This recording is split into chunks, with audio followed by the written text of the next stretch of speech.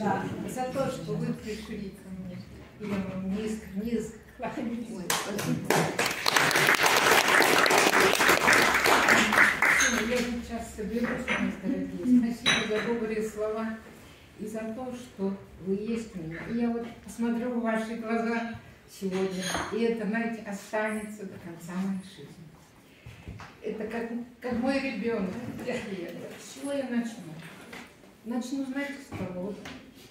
Астрол... Я тут сейчас увлекаемся астрологией. Так? Вот я маленькое стихотворение написала об этом. Гороскоп метафорой жизни давно соединил мои года. Собрались знаки неподвижно, Уран, Нептун и мудрая луна.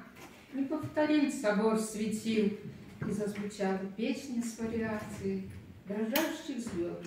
Котел бурлил, была ли песня с интонацией.